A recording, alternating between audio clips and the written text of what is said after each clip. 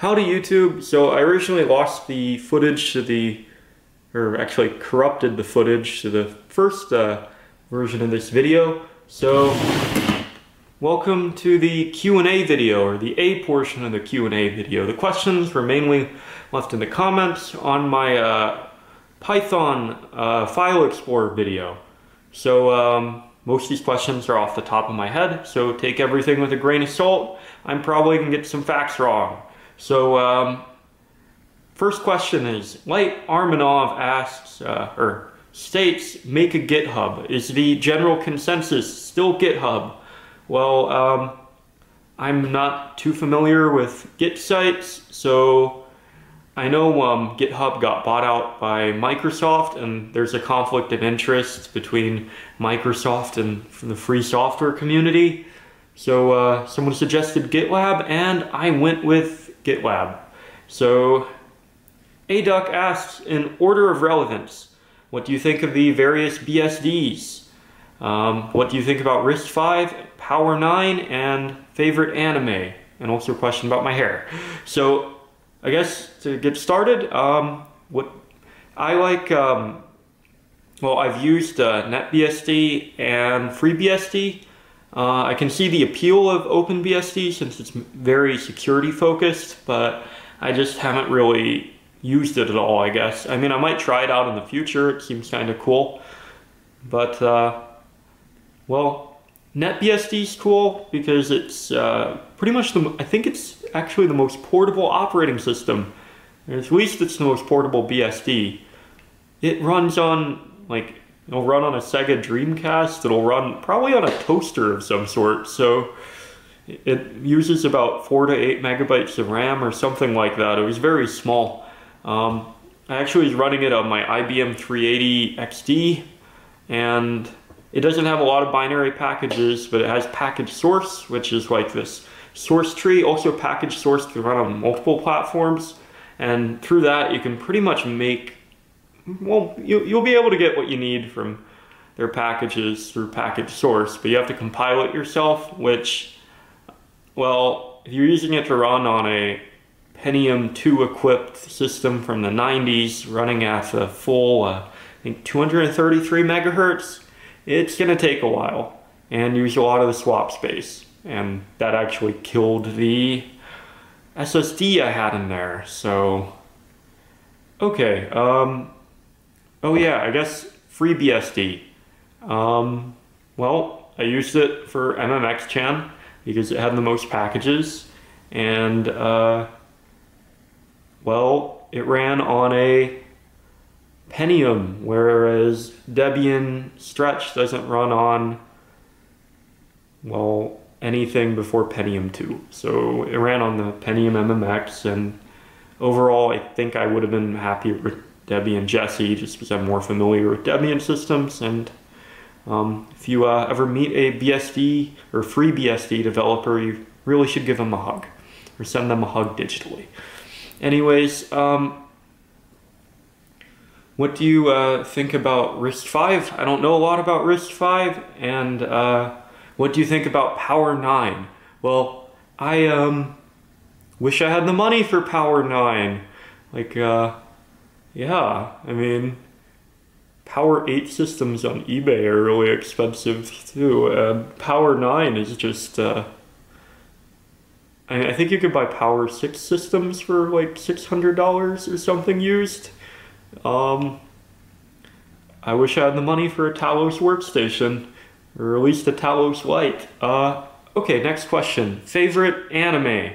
Um, I like Serial Experiments Lain. That was a good anime. I don't watch a whole lot of anime. I think I watched Osomatsu-san. That was also a good anime. Um, uh, what made you grow my your hair out? Uh, I like how my hair looks. Um, okay, so on to Burnsy 3210. Uh, when will you come to GNU plus London Will you have afternoon tea with me and remove the Windows sticker from my ThinkPad? Well, I've never been to London. I've been to Europe or Switzerland one time. And it's the only time I spent a sizable amount of time in Europe. And I was a little kid, so I don't really remember too much about it. So I will probably not come to London anytime soon.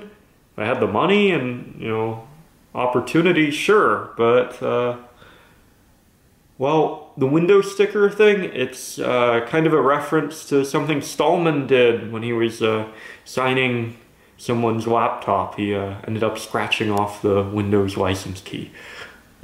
Well, I guess that sums it up. Um, Sriram Kumar. Okay, uh, hopefully I pronounced that correctly. Oh no, okay. Didn't run out of power. It's a IBM T42 with the original battery in it. So uh, it's at 17%. Hopefully it lasts for the rest of this video. Okay, um, the question is, ever moving to IRC? Well, I don't really know a whole lot of people that use IRC chat, but it seems interesting and I'll probably do it at some point. And yeah, um, it'd probably be a little bit better way to uh, communicate with me is it uh, doesn't have to go through Google and you could just use YouTube DL and still have like comments and discussions and stuff. So I might do it in the future and I agree with uh, Hiram Kumar on that. So uh, yeah. Um, thoughts on DTube? Uh, well, so I uploaded one video to DTube. No one really watched it. Uh, DTube is uh, uses some cryptocurrency thing to uh, monetize videos. So I think the cryptocurrency is like generated based off content creation somehow. So yeah, uh, I don't know. I might try it again sometime. I don't really haven't really made any plans on it, but uh, I guess that's it. Um, when are you planning on getting a haircut? Uh, probably 20. 19, 2020, uh, sometime around then. Uh, maybe around when the Unix 2036 bug is. I think it's 2036. I should probably check that. Um, 2038, okay. So, um, yeah, uh, do you prefer any other inits than Systemd? Uh, Systemd is the only one I'm familiar with so um, I don't really have any preferences there. Ever uh, consider using Emacs as your primary editor? Yeah, um, I've been using Nano for a while, and I'm thinking about switching to Vim though, because I realized I've been using Ranger and i3 for a while. And I use VI key bindings, and it really didn't take that long to get used to the insert mode thing. And then on top of that, I actually did install Emacs and tried it out, and it's uh, it's a little bit big, and uh, you uh, need the Alt key, and I couldn't. I was thinking about switching it to Super for i3, but I just decided to go with Vim. I don't really like learning new key bindings, so yeah. Um, Okay. Uh, Mark J asked, "What is your peak ThinkPad?" Okay, so uh, my favorite ThinkPad, which uh, okay, you need a 15-inch T60, and you can get a 2160. I mean 2048 by 2036 panel. It's 4.3 too, and then the T60 has an advanced dock. So the advanced dock has PCI Express so I could put like a compute card or something in the advanced stock or like some sort of like high-end NVIDIA graphics card and use it for like rendering.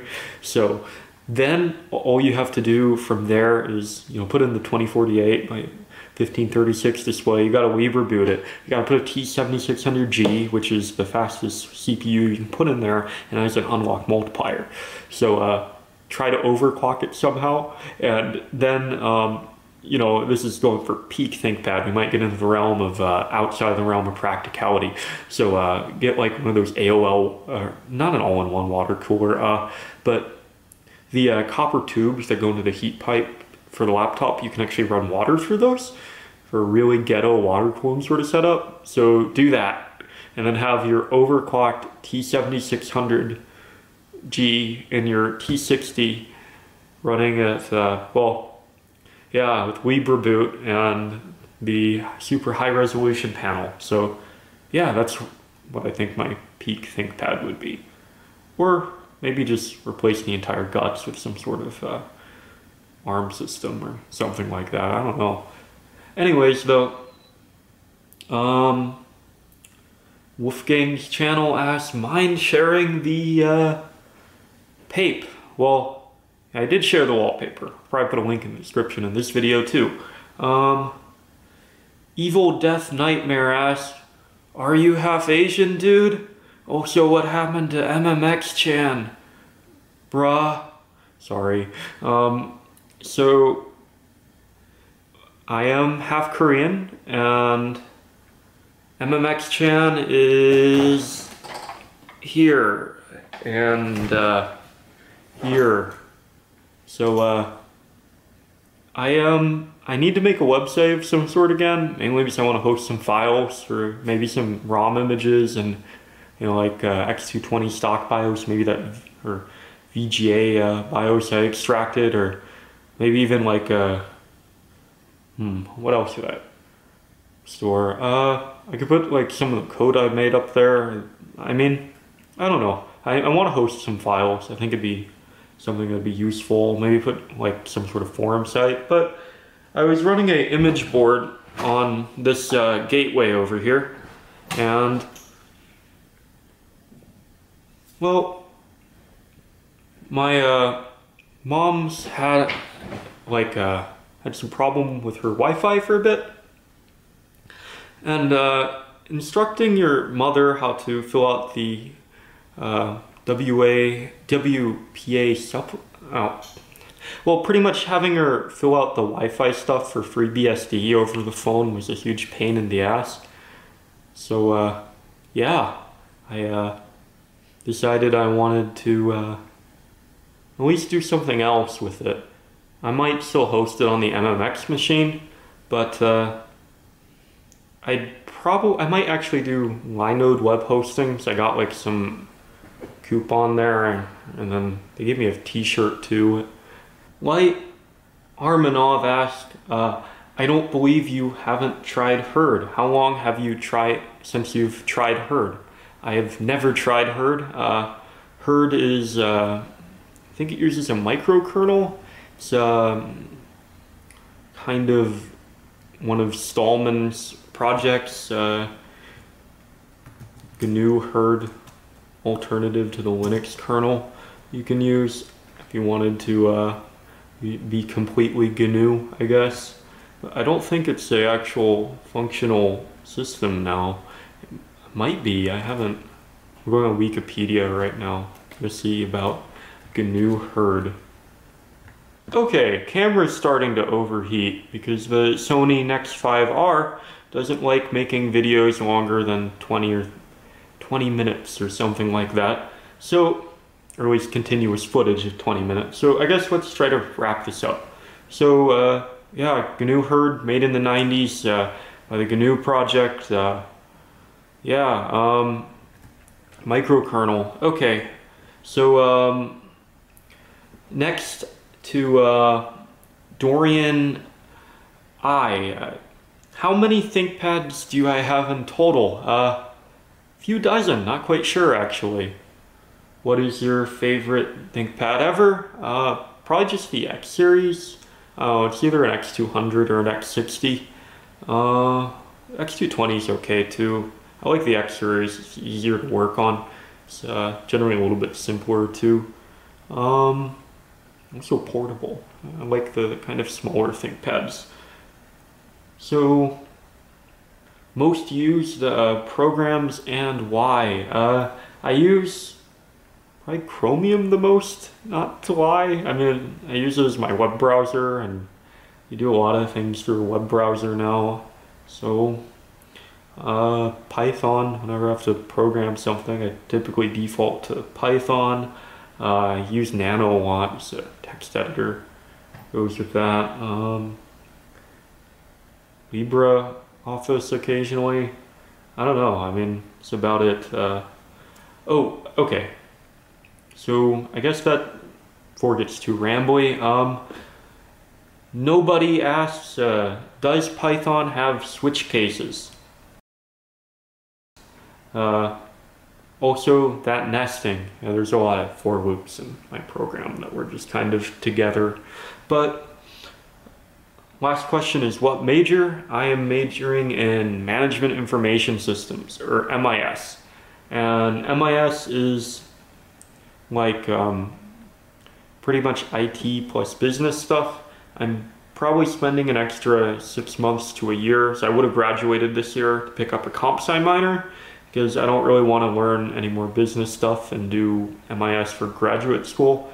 So yeah, you don't really do like MIS grad. It'd be like an MB or it'd be an MS or something.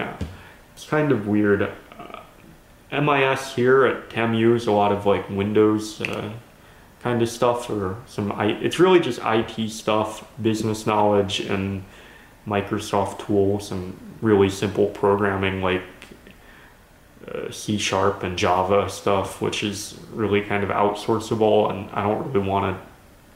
I don't want to do that. I so I'm gonna do a comp sci major or not major, comp sci minor, and transfer into comp sci for graduate school. And Hopefully, hopefully that's how it goes.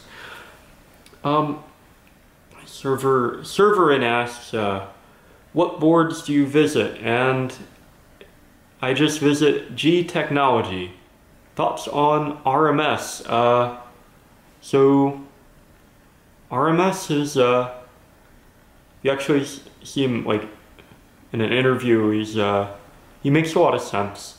And I, uh, respect him for his work in the, uh, actually creating the free software movement. Um, I think the GNU slash Linux thing is kind of a meme, but, uh, yeah, uh, he's kind of a funny person too. There's the uh, video of him dancing with the GNU. Maybe put that up over there. Anyways, though, uh, uh what else? Okay, so, uh, yeah, um, well, he ate something out of his foot one time, which is kind of weird. Uh, ever use Nix OS and functional programming? Um, does Wisp count? I have a Wisp. I, I can't program in Wisp, but um, I guess Lisp is functional. Uh, NixOS, uh, I don't know anything about NixOS. Are you in any IRC rooms? Not at the moment, but I'm probably going to change that. Uh, Alex asks, how did you into ThinkPads? Well, I bought an X220i at a thrift shop for $40.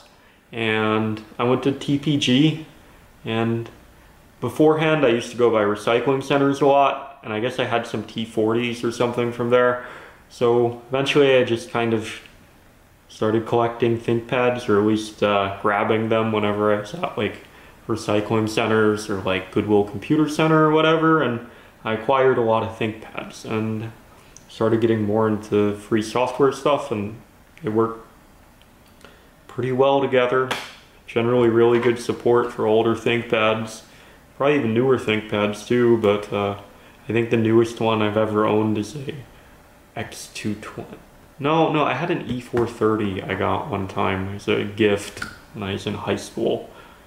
Um, yeah, I guess that sums it up. I already uh, collected used electronic stuff and I just started collecting ThinkPads.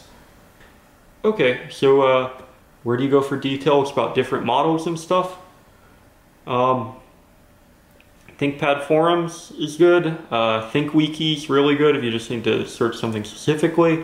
I have this spreadsheet that's linked in my uh, how to get cheap ThinkPad videos, which uh, have the type numbers at the bottom and kind of just shows you the specs for each type number. Oh my god, that isn't in focus, but yeah, you can use that to look up the exact specs for this, and since the camera is probably going to overheat or something soon, I am uh, I am done with my Q&A video, and that was the last question. Sorry if it was cut a little bit short, Alex. Um, have a good one.